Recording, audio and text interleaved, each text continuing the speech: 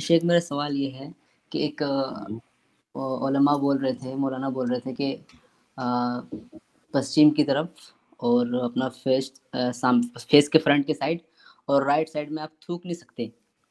तो ये कहाँ तक सही है? आ, सवाल इनका जितना मैं सुना हूँ ये है कि दाएँ साइड में थूक नहीं सकते हैं। जी। देखिए वो जो हदीस पश्चिम की तरफ़। जी।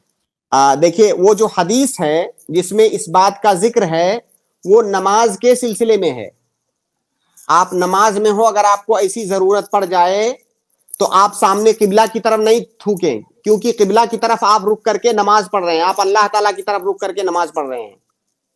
जी। तो आप जो है सामने नहीं थूकें और ज़ाहिर है सामने हम्म। थूकना वैसे भी मायूब है। आपके सामने इमाम होता है या तो कोई आदमी होता है आप जो है दाएँ नहीं थूकेंगे आप बाएँ तरफ़ थूकेंगे। अब या कोई आप रुमाल वगैरह रखे रहे उसमें आप थूक करके अपने जेब में रख लें।